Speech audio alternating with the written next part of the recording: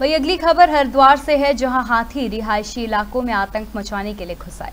आपको बता दें कि रात में भारी बारिश के बाद गजराज जंगल से निकलकर शहरी क्षेत्र में आ पहुँचे।